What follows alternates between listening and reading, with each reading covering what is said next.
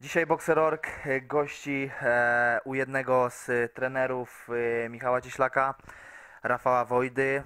Rafał, na początku września byłeś z Michałem na tygodniowych sparingach u Tomasza Adamka. Słyszałem, że dużo ciekawych rzeczy tam się tam zobaczyłeś, podpatrzyłeś i że do kolejnych przygotowań Michała szykują się zmiany, więc, więc opowiadaj o tamtych sparingach.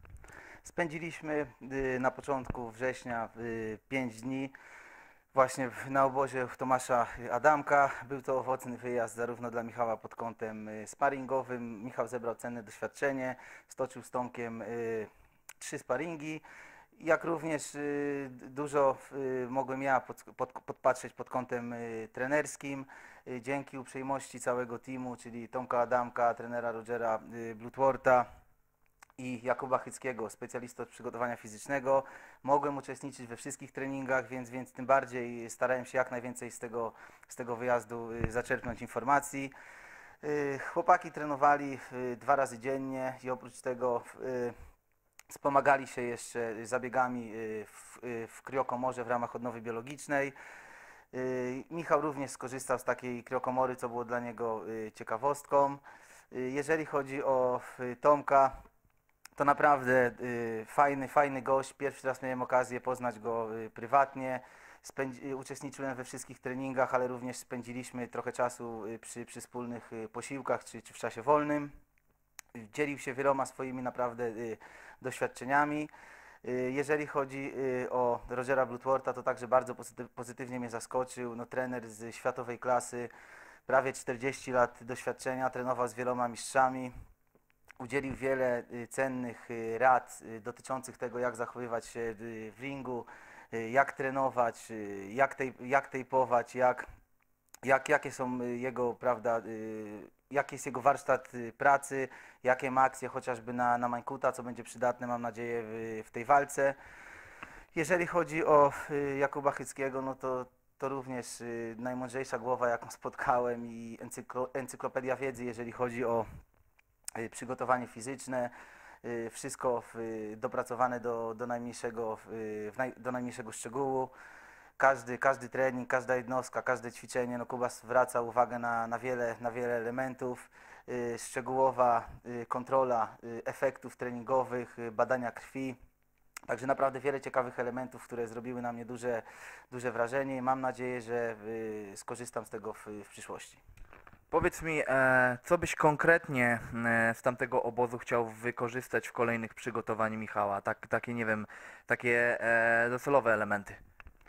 No, docelowe elementy, na, na, ciężko tak dokładnie powiedzieć. No, na pewno w, zauważyłem, że w istotnym y, elementem odnowy jest y, krio, y, kriokomora i to można było wprowadzić.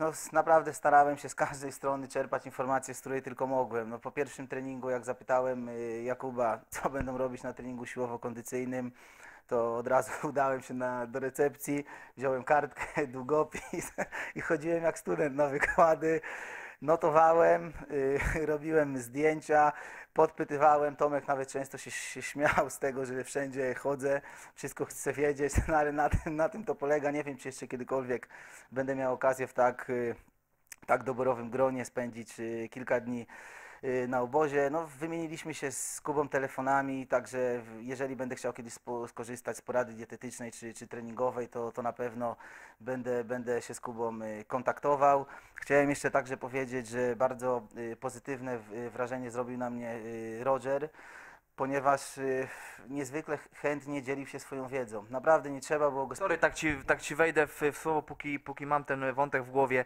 E, właśnie, z tego co mówiłeś, to byłeś e, bardzo mocno zaskoczony, że podchodziłeś do niego, a on ci tak naprawdę jak, e, wiesz, zaczął jedno zdanie, to ciągnął, ciągnął, ciągnął wszystko, co chciałeś, wszystko mówił. Zazwyczaj trenerzy są tacy, że wiesz, odpowie trochę i koniec, a tutaj było wręcz przeciwnie. Tak, dokładnie. No, w, y, ludzie są różni, trenerzy są różni. Ci, których spotkałem do tej pory, też byli różni. Niektórzy chętnie dzielili się swoją wiedzą, inni, inni dali tylko, tylko trochę, wolą zachować ten warsztat y, dla siebie. Natomiast trener Roger mówił do, wszystko, to co myśli. Naprawdę widać, że chciał się podzielić y, swoim warsztatem. No, traktował mnie jak ucznia, także sam byłem zaskoczony. Wystarczyło zapytać o, o jedną rzecz, to potrafił 15, 20, 30 minut odpowia- odpowiadać, przechodząc płynnie z, z tematu na temat, naprawdę, czy to z, ze sposobu trzymania tarczy, czy z zachowania trenera w narożniku, czy, czy z tejpowania rąk, no, ze wszystkiego. Także tak było zresztą u wszystkich, również z Kubą.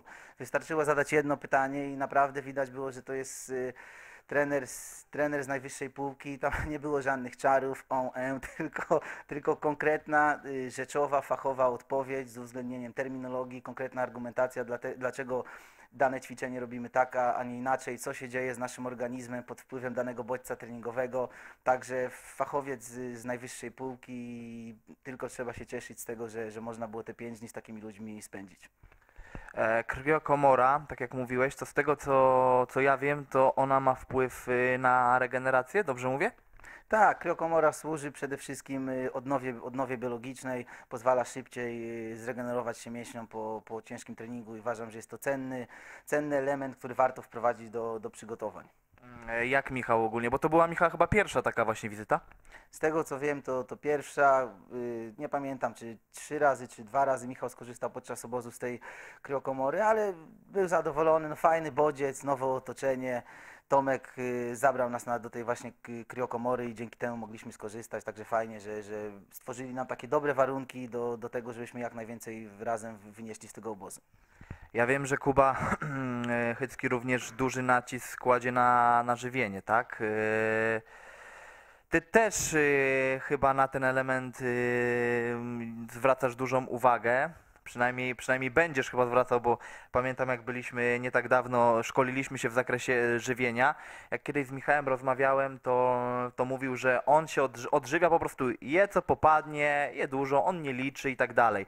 Czy do następnych przygotowań będziesz Michałowi układał dietę i to żywienie będzie wyglądało inaczej? To znaczy tak, przede wszystkim muszę się trochę odnieść do tego, co powiedziałeś, bo zabrzmiało to strasznie. A tak, a, ta, a tak do końca nie jest.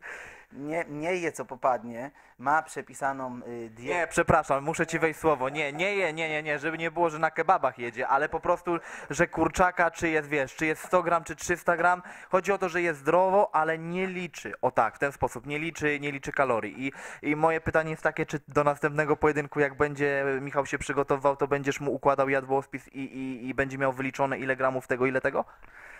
Zobaczymy. Do, powiem tak, y, jeżeli będzie wszystko dobrze, tak jak do tej walki, czyli y, nie będzie problemów z utrzymaniem, y, ze zrobieniem wagi, ta waga będzie optymalna. Jeżeli nie będzie żadnych y, spadków y, wytrzymałościowych, tylko będzie w dobrej, optymalnej formie, to uważam, że można tą dietę zostawić, bo tam naprawdę można by było zmienić tylko niuanse.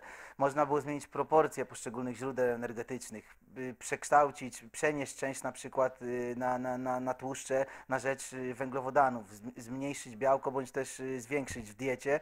Michał ma, ma, ma dietę na kartce, wie z czego czerpać y, dobre y, źródła y, energii, ale rzeczywiście nie liczy. No nie ma na razie żadnego, żadnej gramatury.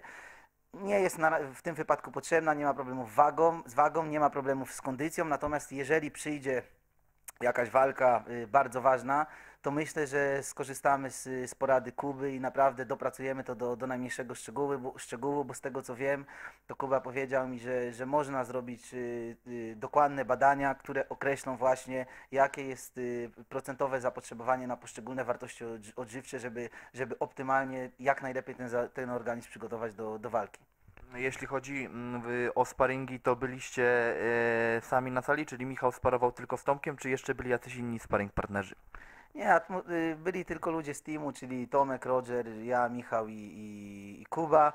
Cała czwórka, naprawdę bardzo fajna atmosfera. No, w, to są bardzo fajni ludzie prywatnie. To, to, takie rzeczy liczą się, bo, bo często je, je, zdarza się czasami, że można gdzieś pojechać na sparring. Człowiek chciałby się czegoś dowiedzieć, ale widzi, że ludzie, ludzie się krzywią, są trochę negatywnie nastawieni. A tutaj naprawdę była bardzo fajna atmosfera. Tomek prywatnie jest, no, można powiedzieć, super gościem. Nie czułem żadnej, żadnej presji z tego tytułu, że jest to y, mistrz świata y, Tomasz Adamek, tylko naprawdę traktowałem go jak kolegę od pierwszego dnia. On nas tak również tra- traktował, ma duże poczucie humoru, jest bardzo kreatywny, jeżeli chodzi o, o wymyślanie pseudonimów na przykład. Wymyślił mi kilka pseudonimów podczas tego Londyn. obozu. Blondyn, Biały Cygan, Babyface, Dyrektor i to tylko nieliczne, które zapamiętałem, ale fajnie, bo ma do siebie dystans i można pożartować również y, z Tomka. I co, co ciekawe, to wydaje mi się, że, że gdyby nie boksował, to mógłby spróbować swoich sił w rajdach samochodowych i szłoby mu całkiem nieźle, bo szybkość, o której mówi, jest nie tylko w ringu, ale także y, za kółkiem. Dobra, e, trochę żeśmy pogadali, trochę żeśmy pożartowali, ale wracamy teraz na poważnie e, do rozmowy. Jak wyglądały te sparingi e, z Michałem Cieślakiem? Czy faktycznie, wiadomo, sparring to nie walka. Czy faktycznie jest ta szybkość u Tomka? Tak, jest, jest szybkość y, u Tomka, widać, że, że, że trenuje na 100%, że to wszystko procentuje w ringu, natomiast y, tak jak Tomek wielokrotnie powtarzał i, wie, i wielu trenerów, że y, sparring to jest tylko element przygotowania. Naprawdę na mnie nie robią wrażenia y, sparingi, być może na początku robiło, no, robiły. Pracuję już z Michałem dwa lata, jest to niedużo, dopiero zaczynam pra, pra, swoją pracę na tle, na, na tle stażu innych doświadczonych y, trenerów. Natomiast kilka tych sparingów już razem przerobiliśmy i wiem dobrze, że to jest tylko jeden element treningu. Nie ma co z tego naprawdę tutaj się podpalać, mogą być sparingi lepsze, gorsze, to jest tylko sparring. Trzeba wyjść do walki, w dniu walki zrobić robotę, kiedy zawodnik przetrenuje ciężki okres właśnie y, treningowy, odpocznie i dopiero po super kompensacji, jeżeli uda się wszystko trafić w formę, to, to dopiero wtedy można to y, oceniać. Ale przygotowania Tomka naprawdę były bardzo solidne, w, trenował na 100%, dwie jednostki treningowe, no, z Kubą zresztą nie da się inaczej trenować. Roger y, męczył Tomka pod kątem y, technicznym, a Kuba zwraca uwagę na wszystkie szczegół, szczegóły. Każda jednostka treningowa przygotowana, zapisana gdzieś tam w notatniku czy, czy w, w laptopie, co do sekundy, wszystko wyliczane. Przy każdym ćwiczeniu zwraca uwagę no, na, na 10 szczegółów, także w, jestem w szoku, jak, jak tak młody chłopak może posiadać taką, taką dużą wiedzę. E, jeśli chodzi o Michała, e, widzisz u niego na przykład jak ma nowego sparring partnera, jest nowy bodziec y, treningowy, to on daje z siebie y, więcej, bo, za, bo często bywa tak, wiesz, że Michał y, sparuje z tymi samymi zawodnikami i wydaje mi się, że on się już z nimi zna i nie jest w stanie z siebie więcej wykrzesać, a to był nowy bodziec, jak się Michał w tych sparingach odnajdywał, e, dawał, nie wiem, dawał z siebie więcej, Mm, opowiedz trochę o tym. Odnajdywał się dobrze. Przede wszystkim Michał ma potencjał, moim zdaniem, y, na, na to, żeby naprawdę coś zwojować y, w, w boksie. Y, A jeżeli chodzi o. Nie bał się, także mógł testować różne warianty, nie miał żadnych oporów. Fajnie różnicował tempo. Wyda- Jestem pewny, że te sparingi z Tomkiem dały mu bardzo dużo i każde kolejne sparingi z nowymi zawodnikami to jest, to jest naprawdę najbardziej wartościowa nauka dla, dla zawodnika, dla każdego pięściarza. Tak jak Adam Jabłoński zawsze powtarzał, można tarczować tysiąc rund, można klepać worki, być mistrzem walki z cieniem, ale jednak człowiek uczy się tylko podczas sparingów i trzeba tych sparingów zmieniać, żeby, żeby były inne style, żeby zawodnicy byli inni, bo, inni, bo tylko wtedy człowiek y, może się uczyć i rozwijać pięściarz. Czy według Ciebie Tomek Adamek będzie w pojedynku z Saletą szybszy niż, niż był w walce z Arturem Szpilką? Ta, for, ta forma będzie lepsza?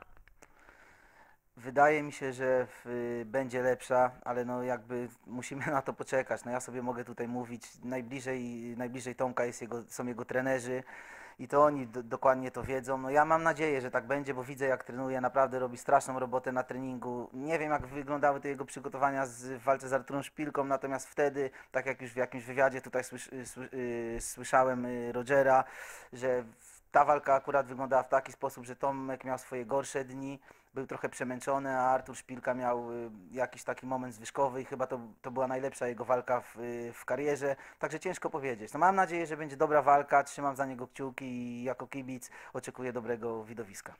Czyli jak za chwilę się Ciebie zapytamy, jak typujesz y, Adamek Saleta, no to, no to, to już wiadomo, wiadomo komu będziesz kibicował.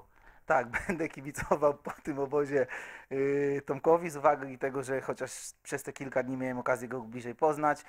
Natomiast y, to jest sport, to jest walka, zdarzyć się może wszystko. Miejmy nadzieję, że będzie dobra walka i poczekamy, zobaczymy. A powiedz mi, czy według Ciebie to, co prezentował Tomek y, w pojedynku ze Szpilką, czyli taką dyspozycję, ona, jeżeli by miał bardzo podobną teraz w pojedynku z Saletą, to wystarczy, żeby pokonać Przemka?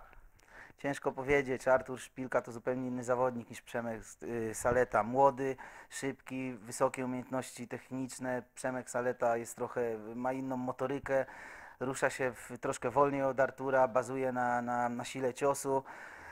Ciężko powiedzieć, naprawdę. Poczekamy, zobaczymy i co przyniesie y, ta walka. No dobra, to już odchodzimy od, od Tomka Adamka. Kilka dni temu byłem u Michała. E, Mieliśmy okazję trochę porozmawiać. Wiem, że Michał zakończył, y, zakończył swój, swój obóz przygotowawczy. E, Ty jesteś z Michałem na bieżąco, to jak, te, jak teraz te ostatnie dni przed, przed walką z Koksem wyglądają? Co regeneruje się? Tak, teraz już y, w tym tygodniu stoczyliśmy, Michał stoczył dwa ostatnie sparingi w, z Darkiem Senkiem. Y, Wczoraj miał y, odnowę, dzisiaj odpoczywa i przed nami ostatni tydzień, czyli typowa świeżość, luźne, krótkie, szybkie treningi, żeby ten organizm mógł się odbudować. Przed samą walką dwa dni odpoczynku i miejmy nadzieję, że będzie petarda w ringu i to Michał uszczeli Koksa, a nie Koks Michała, tak jak się odgrażał. E, Kiedy jedziecie do Łodzi? Piątek albo w czwartek. Jeszcze nie wiem dokładnie kiedy jest, jest konferencja, ale wszystko nadejdzie z czasem. Ten pojedynek, y, myślisz, potrwa pełen dystans? Również ciężko powiedzieć, na taki się nastawiamy. No, to jest walka, nic się nie da przewidzieć. Walka z, z boją w, w czerwcu w Krynicy miała być teoretycznie łatwym sprawdzianem po przerwie, a wyszło 8 rund. Najtrudniejsza walka do tej pory. Rosberg legitymował się dobrym rekordem. To miał być trudny przeciwnik, a robota została zrobiona szybko. Nie wiem naprawdę, czego się mogę czego się spodziewać po tej walce. Wierzę, że Michał jest przygotowany na 100% i tą walkę wygra. I to w to wierzę i tyle wiem na pewno. A co będzie dalej, to zobaczymy.